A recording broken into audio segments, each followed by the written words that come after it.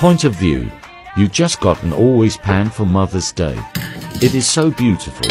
I love the color. What should I make first?